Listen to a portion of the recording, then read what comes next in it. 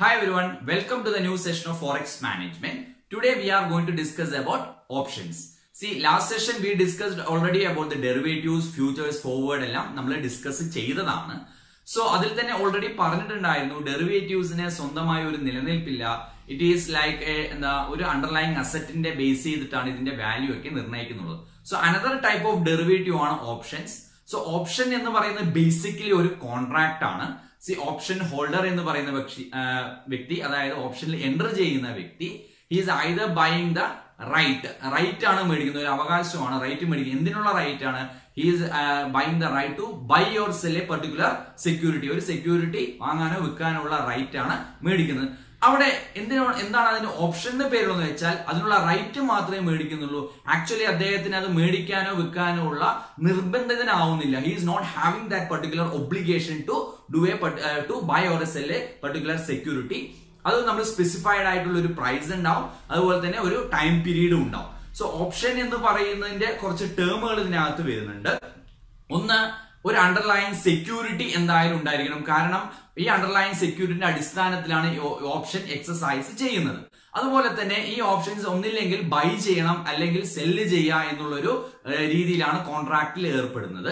So അത് എന്താണ്? അപ്പൊ അതിനകത്ത് തന്നെ നമുക്ക് അറിയാവുന്നതാണ് ഒരു രണ്ട് ടൈപ്പ് ഓഫ് കോൺട്രാക്ട് ഇതിനകത്ത് വരുന്നുണ്ട്.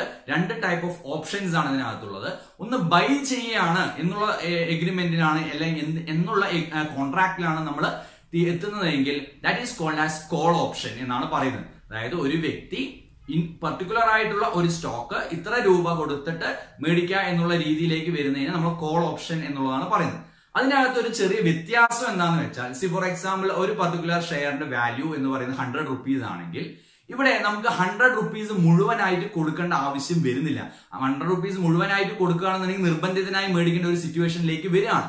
സോ ഒരു പർട്ടിക്കുലർ ഇപ്പോൾ ഒരു ഒരു മാസം അല്ലെങ്കിൽ രണ്ട് മാസം കഴിഞ്ഞാൽ ഈ പർട്ടിക്കുലർ ഷെയർ ഞാൻ എന്ത് ചെയ്യണം? നൂറ് രൂപയ്ക്ക് മേടിക്കാം. അല്ലെങ്കിൽ നൂറ് രൂപയ്ക്ക് വിൽക്കാം എന്നുള്ള ഒരു കോൺട്രാക്റ്റിൽ ഏർപ്പെടുക സോ ഇത് വെക്കണോ വേണ്ടയോ എന്ന് ഇപ്പോൾ മേടിക്കാം. ഒരു ഫോർ എക്സാമ്പിൾ ഞാൻ I am ready to buy a particular share for hundred rupees എന്നുള്ള ഒരു കോൺട്രാക്റ്റിൽ നമ്മൾ എന്റർ ആവുകയാണ്. സോ ഒരു മാസം കഴിഞ്ഞിട്ടാണ് നമ്മളിത് മേടിക്കാന്നുള്ള തീരുമാനത്തിൽ എത്തുക സോ സെല്ലറിനെ സംബന്ധിച്ചിടത്തോളം ഓക്കെ എന്തായാലും മേടിക്കുമല്ലോ എന്നുള്ള രീതിയിൽ നിൽക്കുകയാണ് സോ ബയറിന് എന്താണ്? ഇവിടെ റൈറ്റ് മാത്രമേ ഉള്ളൂ ഒബ്ലിഗേഷൻ ഇല്ല എന്ന് പറഞ്ഞിട്ടുണ്ടായിരുന്നു. സോ വില നമ്മൾ ഉദ്ദേശിച്ചതിനേക്കാളും ഒരു മാറുകയാണെന്നുണ്ടെങ്കിൽ ഇദ്ദേഹം അത് മേടിക്കാതിരിക്കാനുള്ള ഒരു സിറ്റുവേഷൻ ഉണ്ട്. അപ്പൊ സെല്ലർ പറയാണ് അപ്പൊ സെല്ലറിനെ സംബന്ധിച്ചിടത്തോളം ബയർ സേഫ് ആണ്. കാരണം എന്താ വെച്ചാൽ ബയർ എന്തായാലും ഒന്നില്ലെങ്കിൽ നല്ല വിലയാണെന്നുണ്ടെങ്കിൽ മേടിക്കും അല്ലെങ്കിൽ അത് വില കൂടുകയാണെന്നുണ്ടെങ്കിൽ മേടിക്കും അല്ലെങ്കിൽ കുറവാണെന്നുണ്ടെങ്കിൽ മേടിക്കാത്ത ഒരു സിറ്റുവേഷനിലേക്ക് വരുന്നുണ്ട്. സോ സെല്ലറിന്റെ സൈഡ് സേഫ് ആക്കാൻ വേണ്ടിയിട്ട് സെല്ലർ പറയാണ് ഓക്കെ നിങ്ങൾ ആ, മേടിക്കാണെങ്കിൽ കൊടുക്കും ഒരു ചെറിയൊരു നമ്മൾ ഈ കോൺട്രാക്റ്റിൽ ഏർപ്പെടുന്ന സമയത്ത് ഒരു ചെറിയൊരു ടോക്കൺ അഡ്വാൻസ് ഇതിനകത്ത് കൊടുക്കണം എന്നുള്ള രീതിയിൽ പറയാറുണ്ട്. സോ അതിനെ നമ്മൾ പറയുന്ന ഒരു പേരാണ് ആ ടേമാണ് പ്രീമിയം എമൗണ്ട് എന്നാണ് പറയുന്നത്.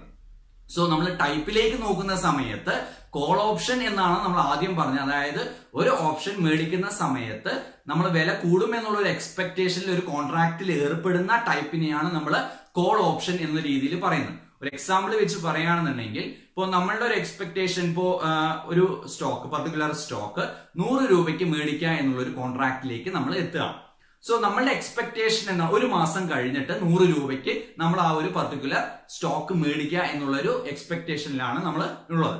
സോ നമ്മുടെ എക്സ്പെക്ടേഷൻ ഇത് നാളെ ഒരു നൂറ്റി ഇരുപത് രൂപയാവും അല്ലെങ്കിൽ നൂറ്റിപ്പത്ത് രൂപയാവും എന്നുള്ള ഒരു എക്സ്പെക്ടേഷൻ ആണ്. വില കൂടും എന്നുള്ള ഒരു എക്സ്പെക്ടേഷൻ ആണ്. സോ ഒരു മാസം കഴിഞ്ഞിട്ട് നമ്മൾ നൂറ് നൂറ് രൂപയ്ക്ക് മേടിച്ചു കഴിഞ്ഞാൽ നൂറ്റി ഇരുപത് രൂപയാവുന്ന സമയത്ത് ആ സമയത്ത് വിറ്റ് കഴിഞ്ഞാൽ ഇരുപത് രൂപ ലാഭം കിട്ടുന്നുണ്ട്.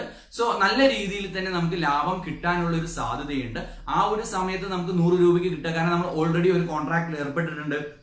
സി ഈ കോൺട്രാക്റ്റിൽ നമ്മൾ ബൈ ചെയ്യുക എന്നുള്ള ഒരു കോൺട്രാക്ട് ആണ്. സോ സെല്ലറിന്റെ എക്സ്പെക്ടേഷൻ എന്താണ് ഓൺ ദി അതർ ഹാൻഡ് വില കുറയും എന്നുള്ള ഒരു എക്സ്പെക്ടേഷനിലാണ് ഇവിടെ ആ സെല്ലർ ആ കോൺട്രാക്റ്റിലേക്ക് ഏർപ്പെടുന്നത്. സോ രണ്ടുപേരും തമ്മിലുള്ള ഒരു കോൺട്രാക്ട് ആണ് എന്ന് പറയുന്നത്. സോ ഈ നൂറ് രൂപയെ നമ്മൾ ആദ്യം ആ കോൺട്രാക്റ്റിൽ എത്തുന്ന സമയത്ത് ആദ്യം അത് ആ കോൺട്രാക്ട് എൻഷുർ ചെയ്യാൻ വേണ്ടിയിട്ട് ഒരു സെക്യൂരിറ്റി പർപ്പസിന് വേണ്ടിയിട്ട് ഒരു ചെറിയ തുക കൊടുത്തിട്ട് കോൺട്രാക്ട് ബുക്ക് ചെയ്യണം. ആ തുകയാണ് നമ്മൾ പ്രീമിയം എന്നാണ് ആ തുകയുടെ തുക പറയുന്നത്. ആ പ്രീമിയം എമൗണ്ട് ഇപ്പോൾ നൂറ് രൂപയാണെങ്കിൽ ഒരു അഞ്ച് രൂപ അല്ലെങ്കിൽ ഒരു പത്ത് രൂപ എന്ന് പറയുന്ന ഒരു എമൗണ്ട് നമ്മൾ ഇനീഷ്യലി കൊടുത്തിട്ട് അത് ആ കോൺട്രാക്ട് നമ്മൾ എന്റർ ആവുകയാണ്. ഇതിന് നേരെ ഓപ്പോസിറ്റും ആയിട്ട് നടക്കാറുണ്ട്. സി നമ്മളിപ്പോ എക്സ്പെക്ടേഷൻ എന്താണ്? ഇനീഷ്യലി വില കൂടും എന്നുള്ള ഒരു എക്സ്പെക്ടേഷൻ ആണ്. നേരെ ഓപ്പോസിറ്റ് എന്താവാൻ സാധ്യതയുണ്ട്. വില കുറയാനുള്ള സാധ്യതയും ഇവിടെയുണ്ട്. സി നമ്മൾ വില കുറയുമ്പോഴും നമുക്ക് ലാഭം ഉണ്ടാക്കാം സ്റ്റോക്ക് മാർക്കറ്റിൽ ഇപ്പോൾ ഇനീഷ്യലി നമ്മൾ ഇക്വിറ്റി തന്നെ മേടിക്കുകയാണെന്നുണ്ടെങ്കിൽ ഷോർട്ട് സെല്ലിംഗ് ഒക്കെ ചെയ്യാം. പക്ഷേ ഷോർട്ട് സെല്ലിംഗിന്റെ ഒരു ഡിസഡ്വാന്റേജ് എന്താണെന്ന് വെച്ചാൽ നമുക്ക് ഇന്ന് തന്നെ ഇൻട്രാഡേയിൽ തന്നെ ഷോർട്ട് സെല്ലിംഗ് ഒക്കെ നടത്താൻ പറ്റുള്ളൂ. But in the case of option നമുക്ക് കുറച്ച് ലോങ് ടേമിലൊക്കെ നമുക്ക് എന്താ ഷോർട്ട് അതായത് വില കുറഞ്ഞാലും ലാഭം ഉണ്ടാക്കാവുന്ന ഒരു സിറ്റുവേഷനിലേക്ക് വരാം. അതെങ്ങനെയാണെന്ന് ഇപ്പൊ നമുക്ക് നോക്കാം. ഇവിടെ നമ്മൾ നേരത്തെ പറഞ്ഞത് കോൾ ഓപ്ഷൻ ആണ് ഒരു ടൈപ്പ് വില കൂടിയാൽ ലാഭം കിട്ടും എന്നുള്ള ഒരു ഓപ്ഷൻ ആണ്. രണ്ടാമത്തെ സിറ്റുവേഷൻ എന്നാണ് വില കുറഞ്ഞു കഴിഞ്ഞാൽ ലാഭം കിട്ടുന്ന ഓപ്ഷനാണ് അതിനെയാണ് നമ്മൾ പുട്ട് ഓപ്ഷൻ എന്ന് പറയുന്നത്. സി ഇവിടെ അപ്പോ നമ്മൾ ബൈയിങ് അല്ല ചെയ്യുന്നത് സെല്ലിംഗ് ആണ് ചെയ്യുന്നത്. സോ നമ്മൾ ഓൾറെഡി ഒരു കോൺട്രാക്റ്റിൽ ഏർപ്പെടുകയാണ്. നമ്മൾ പറയുകയാണ് ഒരു പർട്ടിക്കുലർ സെക്യൂരിറ്റി നമ്മൾ അടുത്തൊരു മാസം കഴിഞ്ഞാൽ ഇത്ര രൂപയ്ക്ക് വിൽക്കുക എന്നുള്ള എക്സ്പെക്ടേഷൻ ആണ്. അപ്പൊ സോ ഇതേ എക്സാമ്പിൾ എടുക്കുകയാണെങ്കിൽ നമ്മുടെ എക്സ്പെക്ടേഷൻ ഒരു particular security one hundred and twenty റുപ്പീസിന് വിൽക്കുക എന്നുള്ള ഒരു എക്സ്പെക്ടേഷൻ ആണ്. സോ നമ്മൾ ഇപ്പോൾ വില കുറഞ്ഞുള്ള ഒരു സിറ്റുവേഷൻ ആണെങ്കിൽ ആ ഒരു സമയം അപ്പോ വില കുറഞ്ഞു കഴിഞ്ഞാലാണ് ലാഭം. കാരണം ആ സമയത്ത് നമ്മൾ വൺ ട്വന്റി റുപ്പീസിന് വിൽക്കുക സെല്ല് ചെയ്യുക എന്നുള്ളതാണ്. ആ ഒരു സമയത്ത് വില കുറഞ്ഞു കഴിഞ്ഞപ്പോൾ ഹൺഡ്രഡ് റുപ്പീസ് ആണെങ്കിൽ നമ്മുടെ ഒരു കൺസിഡറേഷൻ എന്ന് വെച്ചാൽ നൂറ് രൂപ കൊടുത്ത് മേടിച്ചതിന് ശേഷം നൂറ്റി ഇരുപത് രൂപ കൊടുത്ത് വിൽക്കുക. ആ ഒരു ട്വന്റി റുപ്പീസ് ആണ് പ്രോഫിറ്റ് എന്നുള്ള പറയാം പക്ഷെ ഇവിടെ കൊടുക്കുന്ന ഒരു പ്രീമിയം എമൗണ്ട് ഉണ്ട്. നേരത്തെ പറഞ്ഞ പോലെ ഒരു ചെറിയൊരു ടോക്കൺ അഡ്വാൻസ് നമ്മൾ കോൺട്രാക്റ്റിന് വേണ്ടി കൊടുക്കണം. ആ ഒരു പ്രീമിയം എമൗണ്ട് നിങ്ങൾ ഓർഡർ എക്സിക്യൂട്ട് ചെയ്താലും ഇല്ലെങ്കിലും ആ ബൈ ചെയ്താലും ഇല്ലെങ്കിലും ആ പർട്ടിക്കുലർ ആയിട്ടുള്ള ഓപ്പോസിറ്റ് പാർട്ടിക്ക് കൊടുത്തേ മതിയാവും. ബയ്യർ ആണെങ്കിലും സെല്ലർ ആണെങ്കിലും അതിന് കൊടുത്തേ മതിയാവൂ. സോ ഉദാഹരണത്തിന് ഇപ്പൊ നൂറ് രൂപ നമ്മൾ ബൈ ചെയ്ത് നൂറ്റി ഇരുപത് രൂപയ്ക്ക് വിൽക്കുക എന്നുള്ള ഒരു സിറ്റുവേഷൻ വരികയാണെങ്കിൽ ഈ ട്വന്റി റുപ്പീസ് അല്ല അവിടെ പ്രോഫിറ്റ് വരുന്നത്. അവിടെ പ്രോഫിറ്റ് വരുന്ന ആ ഒരു ട്വന്റി റുപ്പീസ് മൈനസ് എത്രയാണോ പ്രീമിയം എമൗണ്ട് ഫൈവ് റുപ്പീസ് ആണെങ്കിൽ ഫൈവ് റുപ്പീസ് കമ്പൽസറി ആയിട്ട് കൊടുത്തിട്ടുണ്ടാവണം. അതാണ് ഈ സെല്ലറിന്റെ ഒരു അഷുറൻസ് എന്ന് പറയുന്നത്. സോ ഇതാണ് ടു ടൈപ്സ് ഓഫ് ഓപ്ഷൻ വരുന്ന ഓപ്ഷനിൽ രണ്ട് ടൈപ്പ് ഓഫ് ഓപ്ഷൻസ് ഉണ്ട്. ഒന്നുകൂടെ പറയാം. ഒന്ന് കോൾ ഓപ്ഷൻ ഒന്ന് പുട്ട് ഓപ്ഷൻ കോൾ ഓപ്ഷൻ എന്ന് പറയുന്നത് നമ്മളുടെ ഒരു എക്സ്പെക്ടേഷൻ ഈ ഹോൾഡർ ഓപ്ഷൻ ഹോൾഡറിന്റെ ഒരു എക്സ്പെക്ടേഷൻ എന്താണ്? ഭാവിയിൽ ഇത് വില കൂടും. സോ ബൈയിങ് എന്നുള്ള രീതിയിലുള്ള നമ്മൾ ഒരു ഓപ്ഷൻ ബൈ ചെയ്യാണ് എന്നുള്ള ഓപ്ഷൻ കോൺട്രാക്ട് ബൈ ചെയ്യുകയാണെങ്കിൽ അതിനെ കോൾ ഓപ്ഷൻ എന്നും നേരെ ഓപ്പോസിറ്റ് ആയിട്ട് അത് സെല്ല് ചെയ്യുകയാണെങ്കിൽ അതിനെന്താണ് പുട്ട് ഓപ്ഷൻ എന്നാണ് പറയുന്നത്. സെല്ല് ചെയ്യുന്ന കേസിൽ വില കുറയുമ്പോഴാണ് ലാഭം. ഇത് കുറച്ചുകൂടെ ക്ലിയർ ആയിട്ട് ഒരു ലൈവ് ആയിട്ടുള്ള ഒരു എക്സാമ്പിൾ കൂടെ വെച്ചിട്ട് പറയാം. ഇതിനകത്ത് കുറെ ടേംസ് പറഞ്ഞിട്ടുണ്ടായിരുന്നു. എന്താണ് ഒരു അണ്ടർലൈങ് അസറ്റ് എന്താണ്?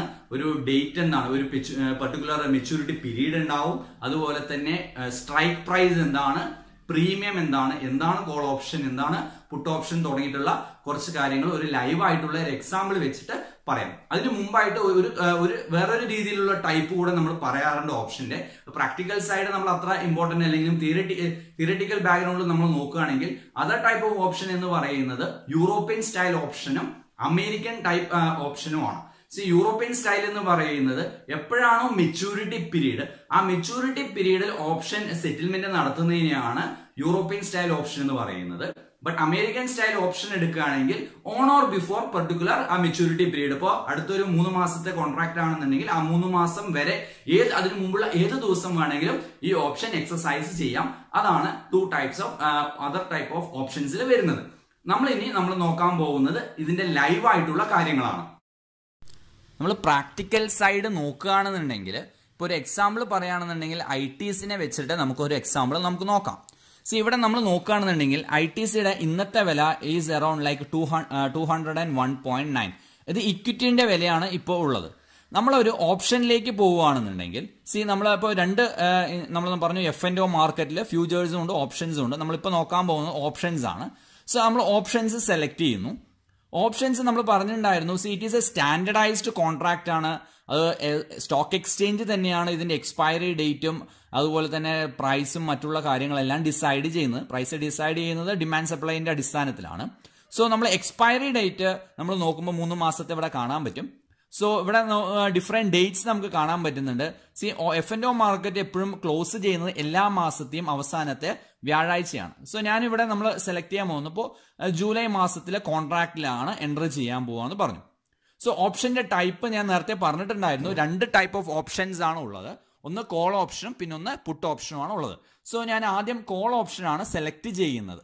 സോ ഈ ഓപ്ഷൻ ടൈപ്പ് സെലക്ട് ചെയ്തു. പിന്നെ പറഞ്ഞിട്ടുണ്ടായിരുന്നു സ്ട്രൈക്ക് പ്രൈസ് കോൾ ഓപ്ഷൻ നമ്മൾ എന്താണ്? ബൈയിങ് ചെയ്യാണ്. ബൈയിങ് ആണ് ചെയ്യുന്നത്. സോ ഇവിടെ വൺ നയന്റി സെവൻ റുപ്പീസ് ആണ് ഇന്ന് ട്രേഡ് ചെയ്യുന്നത്. പക്ഷേ ഞാൻ എന്നാണ് മേടിക്കാൻ പോകുന്നത്? ഓൺ ഓർ ബിഫോർ തേർട്ടീത്ത് ജൂലൈക്കാണ് ഞാൻ മേടിക്കാൻ പോകുന്നത്. ഇന്നത്തെ ഡേറ്റ് നമ്മൾ പറയുകയാണെങ്കിൽ ട്വന്റി ഫിഫ്ത്ത് ആണ്. സോ നമ്മൾ ആ ഒരു രീതിയിൽ നമ്മൾ നോക്കുകയാണെന്നുണ്ടെങ്കിൽ ട്വന്റി ഫിഫ്ത്ത് ജൂൺ ആണ് ഒരു മാസം നമുക്ക് ഇനിയും സമയമുണ്ട്. സോ നമ്മൾ എന്റെ ഒരു എക്സ്പെക്ടേഷൻ ആ ഒരു സമയമാകുമ്പോഴേക്കും ഏകദേശം ഒരു ടു ട്വന്റി റുപ്പീസ് ആവും എന്നുള്ളൊരു എക്സ്പെക്ടേഷൻ ആണ്. സോ ഞാനൊരു ഇരുന്നൂറ് രൂപ വരെ കൊടുക്കാൻ തയ്യാറാണ്. So this is the strike price ആണ്. സോ ഇരുന്നൂറ് രൂപ കൊടുക്കാൻ തയ്യാറാണെങ്കിൽ ആ ഇരുന്നൂറ് രൂപയുടെ ഓപ്ഷൻ മേടിക്കാൻ I have to pay a twelve point four five റുപ്പീസിന്റെ premium amount കൊടുത്തേ മതിയാവൂ. ആ ഒരു കോൺട്രാക്റ്റിൽ എന്റർ ചെയ്യാൻ വേണ്ടിയിട്ട്. സോ നമ്മൾ ഇവിടെ നോക്കിയിട്ടുള്ള കുറച്ച് കാര്യങ്ങളുണ്ട്. ഫസ്റ്റ് വൺ നമ്മൾ സെലക്ട് ചെയ്ത ആ സ്റ്റോക്ക് അല്ലെങ്കിൽ ആ ഒരു പർട്ടിക്കുലർ അസറ്റ് എന്ന് പറയുന്നത് ഐ ടി സി എന്ന് പറയുന്ന ഒരു സ്റ്റോക്കാണ് സോ ഇവിടുത്തെ അണ്ടർലൈയിങ് അസറ്റ് എന്ന് പറയുന്ന ഐ ടി സി സ്റ്റോക്കാണ് ഐ ടി സി സ്റ്റോക്കിന്റെ നമ്മൾ ഓപ്ഷൻസ് അല്ലെങ്കിൽ ഫ്യൂച്ചേഴ്സ് ഏത് വേണമെങ്കിൽ നമുക്ക് സെലക്ട് ചെയ്യാം. ഇപ്പോൾ നമ്മൾ ഓപ്ഷൻസ് ആണ് നോക്കുന്നതെങ്കിൽ ഓപ്ഷൻസ് സെലക്ട് ചെയ്തു.